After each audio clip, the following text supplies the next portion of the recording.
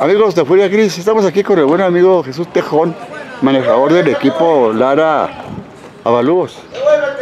Oye, este, pues vemos que un, un estadio bastante alegre, con la gente veterana de los 50 y más. Creo yo que con muchas facultades todavía para jugar, Tejón. 60 y más. ah, 60. 60 y más. Entonces la persona que me informó ahorita me informó mal. 60 y más. Oye, qué chulada de gente, hombre, qué chulada, en no, pues serio. es que se hace, esta liga se hace con el fin de que la gente vuelva a convivir, vuelva a sentirse que todavía son personas. Que todavía... Bien hecho, bien hecho. No, hombre, pues qué, qué, qué bonito, qué bonito que, qué bonito que todavía haya gente que esté promoviendo el béisbol entre la gente 40 y más, 50 y más y 60 y más. Digo yo, porque todavía toda esa gente tenemos derecho a practicar deporte. Tienes trae, tienes trae. Te digo, esta liga se hace por convivencia. Así es. ¿Cómo andas en la tabla de posiciones ahorita? Ando en cuarto lugar.